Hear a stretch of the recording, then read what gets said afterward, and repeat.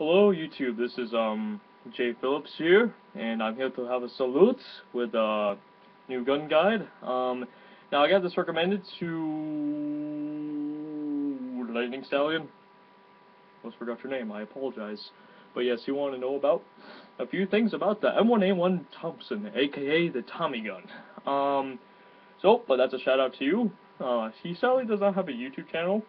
Well, he does, but you know, doesn't really do much on it, which is not bad because he just wants to watch things. He's already a YouTube channel to do that. So, yeah. um, now this, this is not really my regular wardrobe. You know, like I usually rock rock and roll shirts where I am right now, but uh, I'm just going to boxing soon, so I gotta get a little more my boxing style on. Um, I'm really trying to control the habit of um. But that's I guess that's my thing. Um. Yep. alright, let's get to it. Now, the M1A1 Thompson was actually developed in 1918, which is more towards the line of the end of World War One era. Now, this wasn't issued to the military until actually the later 30s. Uh, it was first developed by actually the mob throughout Chicago and New York. First, was going to be equipped to the New York, like the police departments around that area. But of course, around that period of time, mobs, gangs, the mafia, so forth, really controlled the cities. So they got control of the harbor, and they had the establish of the Thompson.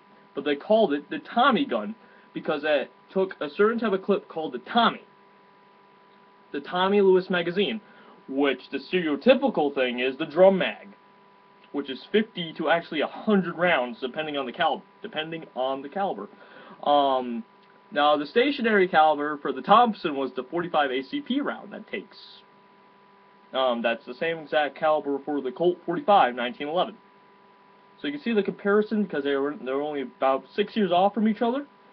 Um, but yeah, it takes a 45 ACP, which is a very deadly caliber at that time because we didn't really have vests at that point, so that round could penetrate very easily.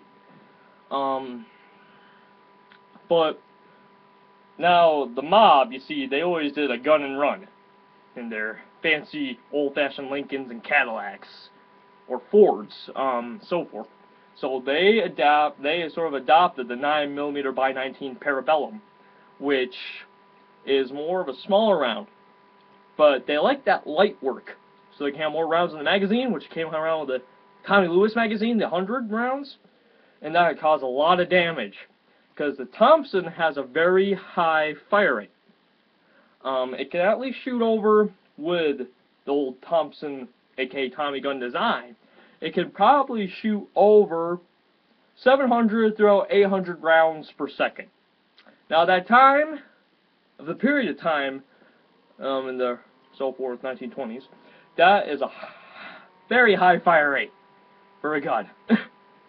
um, until the MP40, the machine pistol 1940, when I talked about this before, came out. No, that which are made by the Germans, Heckler and Koch, or um, Schweitzer was the um, correct definition for that gun brand.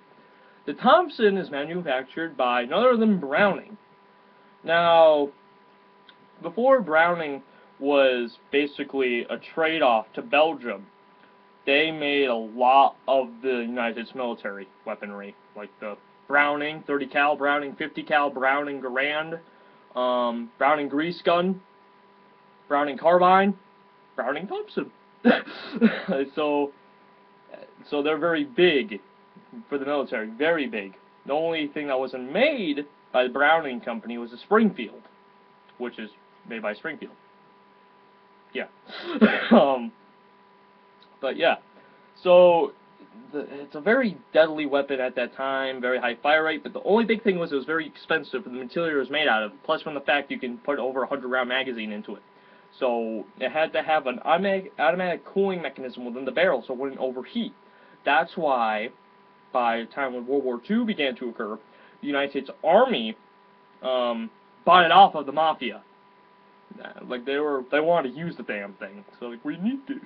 Mafia be like, pay Tony, Tony is paid. Here you go.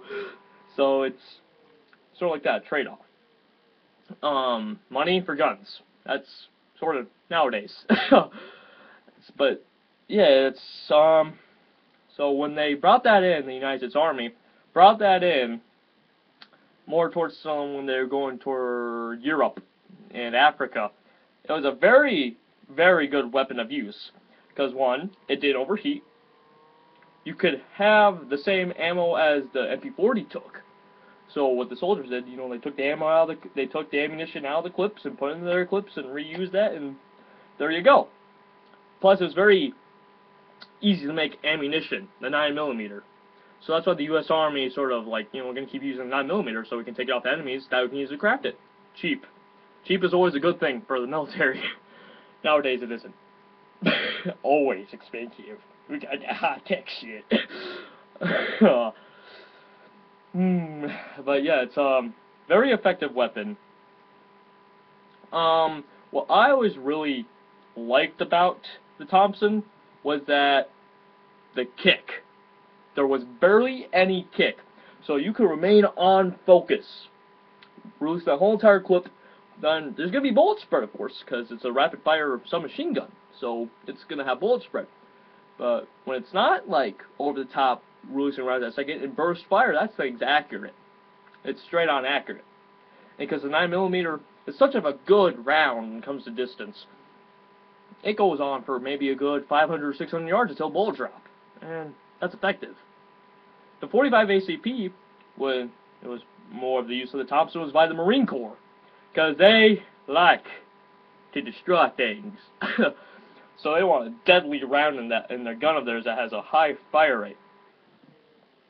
Only thing that it really affected to the Thompson was, now like I said, the barrel has a cooling system in it, so it wouldn't overheat. With the 45 ACP, it overheated because it was more of a larger round, and firing that thing in full-on fury is going to really heat up the barrel in general for any gun, especially with the 45 ACP in that thing. But like I said, with the burst fire, man, you can pop some heads with that gun.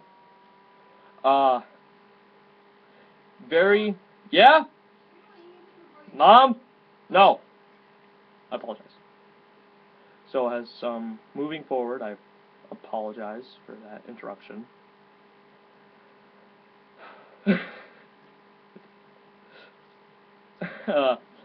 but yeah, it's a um, very effective gun all around.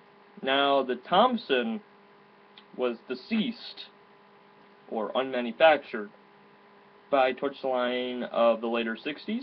The last of its use was in Vietnam, but only for a few reasons. Um, because now at that time, it would be more of a cheaper gun to make. Um, engineers, um, or when you had to do lightweight, when you have an operation, they didn't use the M16 or the M14. They more so used M1 Thompson or M1 Carbine because it's lighter, so forth. Um, few other things I have to add. The Thompson had different varieties. The first version was the M1A1 Thompson.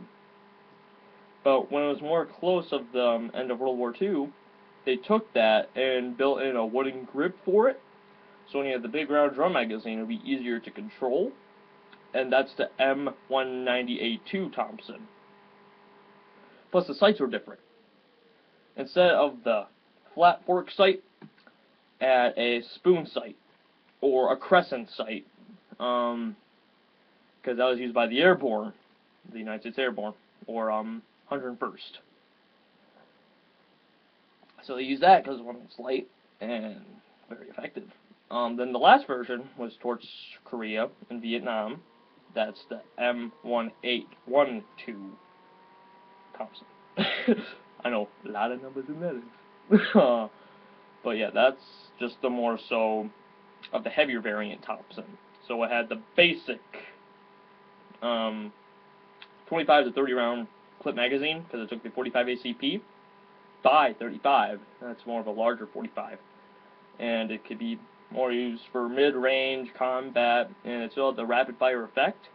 So it causes a lot of damage. can probably shoot through an inch of concrete. Um, but yeah, that's the, really the three variants of the Thompson series. I hope you guys grew some knowledge from this, because I sure did. if you have any more questions, uh, anything I left out, please leave a comment below. Um, now, I hope you guys have a wonderful day, and I salute to you, and I hope you done good. you done good in that. Alright, guys. See you around.